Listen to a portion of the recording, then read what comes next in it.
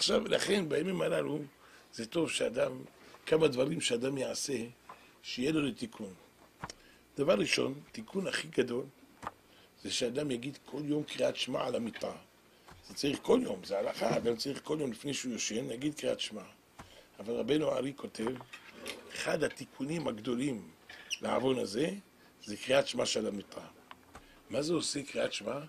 גמרא אומרת, חרב פיפיות בידם, לעשות נקמה בגויים. הוא אומר, חרב פיפיות זה מי שקורא קריאת שמע על המיטה, או חרב של פיפיות נגד המזיקים. מה העניין? אומר רבנו הארי שאדם על ידי החטא הזה בורא הרבה מזיקים. מה, איך בורא אותם? יש גופות מתות שלהם.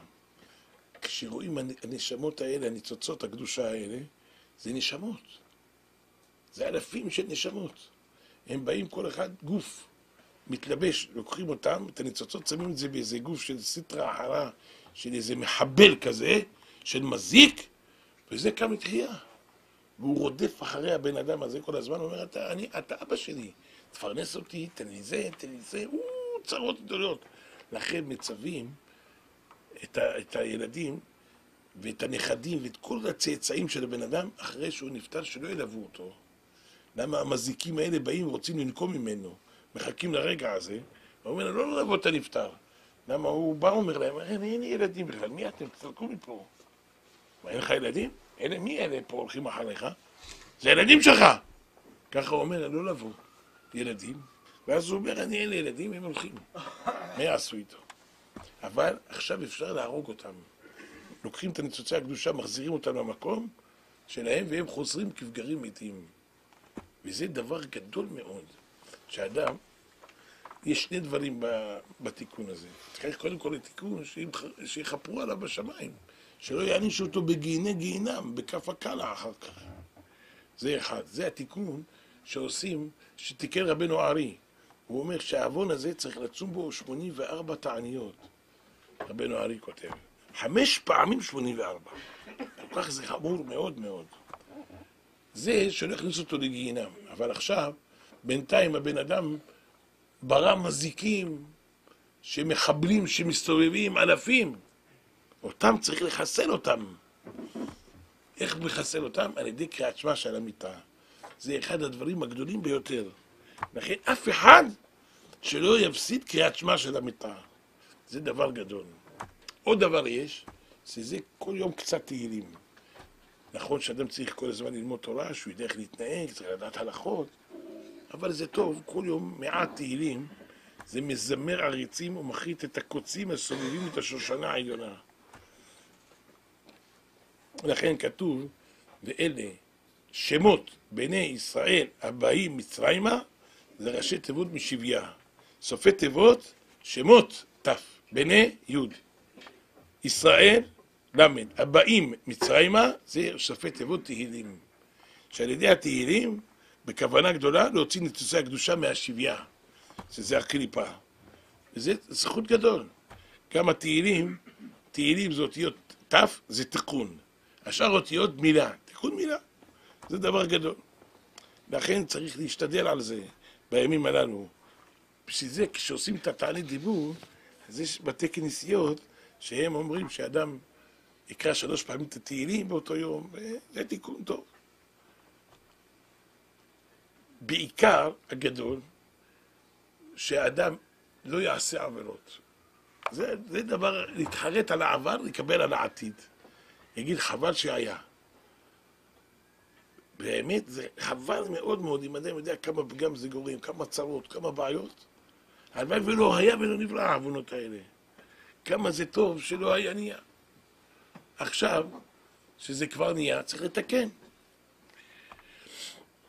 כל זה גורם על ידי הידרדרות לתאוות, לגשמיות, למותרות. כשאדם מידרדר, זה דבר מושך דבר, ואדם, מה יעשה? יצר, הוא אדם, אנחנו מבשר ודם, והיצר הרע זה אש. הוא לוקח את הבן אדם ומוליך אותו שובב. כמה שאדם לומד, וכמה שאדם עושה, ואדם שומר, יצר הרע הוא חזק מאוד.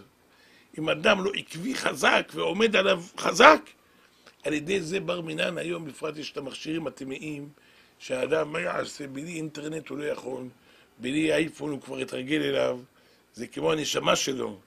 איך הוא יוותר על דבר כזה, אבל צריך לדעת שזה מאבד את הנשמה, זה מאבד את הבן אדם. איך כתוב שם? אומר רבי אברהם גלנטי, הוא אומר, בני ישראל פרו וישרצו וירבו ויעצמו במאוד מאוד ותמלא הארץ אותם. הוא אומר, שאלה, בני ישראל פרו וישרצו וירבו ויעצמו במאוד. מה זה מאוד? פעמיים במאוד מאוד? למה פעמיים? בני ישראל פרו במאוד. למה במאוד מאוד? מה זה ותמלא הארץ אותם? הארץ מילאה אותם, צריך להגיד, והם מילאו את הארץ. מה זה ותמלא הארץ אותם? אני אומר, אני אגיד לך, הארץ זה ארציות, זה תאוות העולם, זה המותרות. הם, הארץ מילאה אותם. הם היו רודפים אחרי התאוות. במצרים נתנו להם להרגיש התאוות. ללכת אחרי התאוות והמותרות וערוות הארץ והזנות. ותמלא הארץ, הארץ, הארציות מילאה אותם. ובמאוד מאוד. במה הם פרו ושרצו והרבו? כתוב בכל מאודיך. בכל מאודיך רבותינו אמרו זה ממונך. זה אחרי הממון. רודפים אחרי המותרות, זה הכסף, יותר מדי. תמלא, במאוד מאוד, ואז ותמלא הארץ אותם.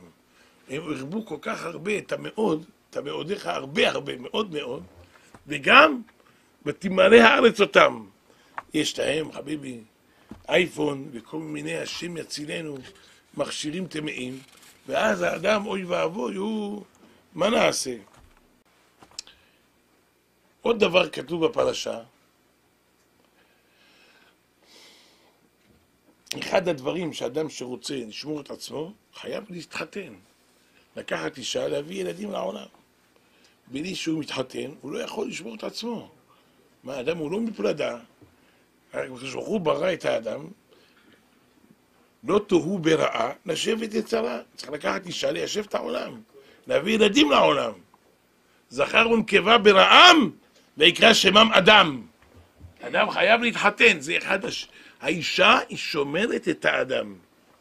בגמרא כתוב, בגמרא כתוב, דיינו שמצילות אותנו מן החטא ומגדלות בנינו לתורה, זה כבר מספיק. ככה האישה היא שומרת, היא מגינה על האדם, שלא יחטא. זה דבר גדול, שאדם ייקח אישה, ואדם ידע לו, אחד הדברים הגדולים, שאדם מתחתן, שיביא ילדים לעולם. יש הרבה אנשים, הם מונעים את עצמם מלהביא ילדים. למה? הם אומרים, מספיק לנו שניים, שלושה, ארבעה, מספיק. הם מפחדים מאיפה יביאו להם פרנסה, צרות, כל הזמן לקחת אותם לרופא, לטפל. איך, אם הקדוש ברוך הוא רוצה להביא לאדם צרות, לא חסר, לא חסר דרכים להביא לו צרות. יותר טוב שיסבול צער גידול בנים. ומי אמר? הרבה פעמים הילד, אי אפשר לדעת איזה ילד יעשה נחת רוח להורים שלו יותר. מי הוא טוב, מה הוא לא טוב. אדם לא יעשה חשבונות. אדם צריך לעשות זה עבודת השם. הוא לא, ית, לא יתחכם. צריך לעשות, וזה תיקון גדול לבן אדם. שהוא יתחתן ויביא ילדים לעולם, זה מקרב את הגאולה. ואני רוצה לספר לכם מעשה, שסיפר לי את זה אחד שלומד בישיבה, למד בישיבה שלנו, וגם עכשיו הוא בא בחזרה. אחד הרבנים הגדולים. קוראים לו רבי דוד דניאל הכהן. הוא לומד פה בישיבה, היה פה בישיבה, עכשיו הוא פתח ישיבה גדולה לבד. אבל עדיין הוא בא לישיבה. והוא היה גר בתחילה בבני ברק. הוא סיפר לי שהיה לו שם שכן שגר דלת מולו בבני ברק. הוא היה חילוני, חזר בתשובה. התחזק, חזר בתשובה שלמה. אשתו הייתה סובלת מאוד בעיניים, היה לה מחלה בעיניים. אמרו לה הרופאים, היא הייתה בהיריון. אמרו לה הרופאים שאם היא תלד את הילד הזה היא תהיה עיוורת. היא הייתה תמימה, הם לא ידעו שאסור להפיל. לא שאל הרב, פוסק. אמרה, שאלה שניים, שלוש רופאים, אמרו לה, כולם צריך להפיל אותו. למה? אשתו מספרת לו, של הרב, אומרת לו, אתה יודע, זו השכינה שלנו, הצדקת שחזרה בתשובה, צדיקה, ראיתי אותה כל הזמן בהיריון, אני לא יודע מה קרה לה, אולי נפל לה התינוק. עכשיו אין. הבטן שלה חלקה.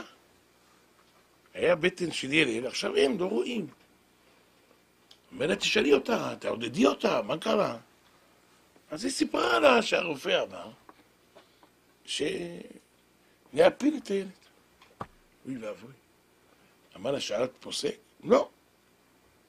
אז היא הסבירה לה, וישבה איתה, הסבירה לה שהיא טועה. זה טעות. זה, הבט זה כמו אדם לוקח, הורג את הילד שלו. איך עשית דבר כזה? אומרת עכשיו, מה אני אעשה?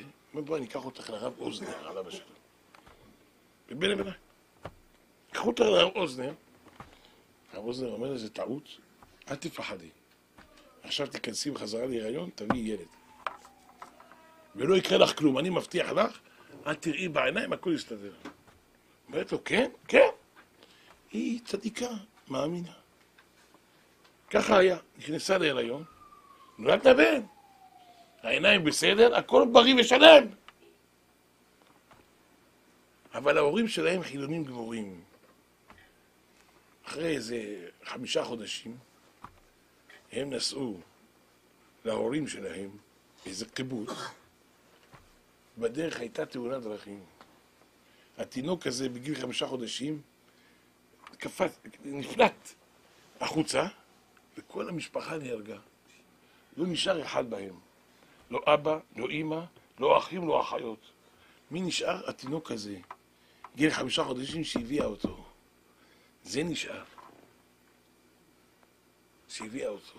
אם לא היה, לא מביאים אותו, לא היה זכר למשפחה. שהביאה אותו, יש להם בן. היום הוא כבר התחתן הילד הזה. מי גידל אותו? הצדיק מרעננה. הוא גידל אותו. והאימא באה בחלום ואמרה, אני רוצה שאיזה צדיק יגדל אותו, לא ההורים שלי. ואימא שלך לקחה את הילד לגדל. אמרה לו, לא, פה אצלך את לא רוצה תורה. אני לא רוצה שיגדל אצלך. ואימא שלך רצתה דווקא. אמר לה, לא, זה לא יעזור לך. אני אלחם בך שאת לא תגדי את הילד שלי. אני רוצה שהילד שלי יגדל לתורה. וכך היה. ובסוף הילד הזה גדל אצל צדיק מרעננה, והיום הוא כבר התחתן, כנראה שכבר יש לו ילדים. והכל מסתדר. אבל תראו מה זה שבן אדם, הוא יודע אה, לשמור, שומע לכל החכם. וזה אחד הדברים הגדולים ביותר. ביותר ביותר. גם עוד דבר גדול זה טוב, שאדם ייזהר בברכות. יברך הקדוש ברוך הוא, יברך בנחת. יברך טוב על מה שהוא אוכל, ברכה ראשונה, ברכה אחרונה, זה גם אחד התיקונים הגדולים. גם זה טוב, למשל, התיקון הזה משסנדק, שהוא סנדק, יושב סנדקאות, זה גם תיקון גדול. גם גורם לילד שיהיה צדיק, אם הוא באמת אדם מתוקן, והוא מתקן את עצמו, אז הילד יהיה צדיק. וזה צריך שאדם ישתדל בכל כוחו לשמור את עצמו.